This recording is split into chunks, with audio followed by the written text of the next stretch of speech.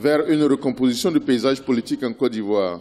Le 3 juin, le RPCP, Renouveau pour la paix et la concorde, a quitté les rangs de l'opposition pour rejoindre le RHDP, Rassemblement des oufoutistes pour la démocratie et la paix.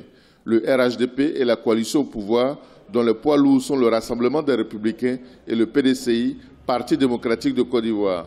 C'est en qualité de patron du présidium du RHDP que Henri Conan Bédier, également président du PDCI, a acté le retour de Mme Henriette Lagou à ses côtés.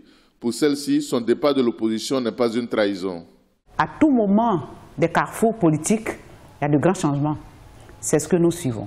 Nous sommes nés à la recherche de paix. C'est un groupement qui aussi exerce pour rechercher la paix en Côte d'Ivoire et la stabilité.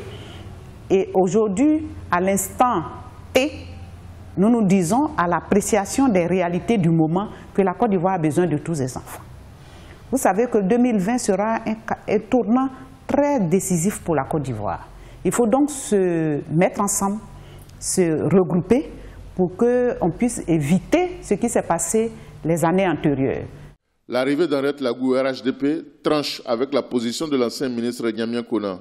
Aujourd'hui, à la tête d'un nouveau parti dénommé la Nouvelle Côte d'Ivoire, il avait auparavant dirigé l'Union pour la Côte d'Ivoire, dont il a quitté la tête en rompant avec le RHDP, qui n'a pas su, selon lui, lutter contre la corruption. Ce qui, à l'époque, euh, avions-nous estimé euh, à peu près à 500 milliards par an.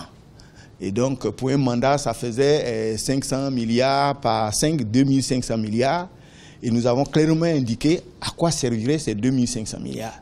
S'ils étaient d'accord avec une telle vision, nous étions disposés à les soutenir et si, surtout si éventuellement ils pouvaient nous associer à la mise en œuvre de ce projet de société. Ça n'a jamais été le cas. La perspective des élections municipales et régionales et surtout de l'élection présidentielle de 2020 explique cette recomposition du paysage politique ivoirien. M. Nyamia Konan propose l'inscription d'office des détenteurs de la carte nationale d'identité sur la liste électorale.